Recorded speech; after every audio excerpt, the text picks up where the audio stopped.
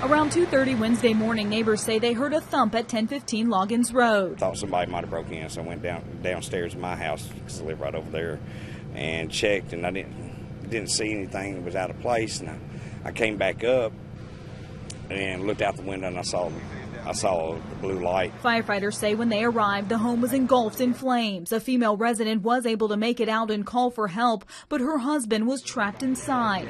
The Dickson County Sheriff's Department says the man is either 50 or 51 years old. Deputies do not believe he had a medical condition that would have made it difficult for him to escape.